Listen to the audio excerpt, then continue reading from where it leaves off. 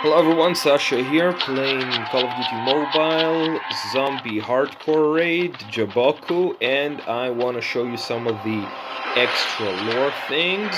Now, uh, what we're gonna do now is the meteor part. Uh, okay, so you're gonna go northwest, and you'll see this uh, huge piece of, well, something you can shoot at. You see the crosshairs become red the, the item is being shot at, and basically what you do is you shoot it a bunch of times. Now, how many times specifically, I'm not certain. Maybe there's a specific weapon. At times it worked for me, other times it didn't. Okay, see, now we have the skulls. See, skulls? Skulls equals dead. You need to kill the skulls.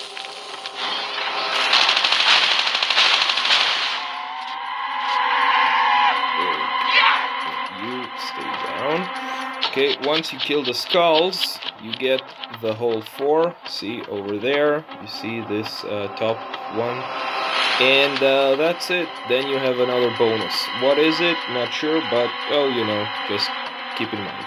Hope this video was beneficial. All best, and good luck.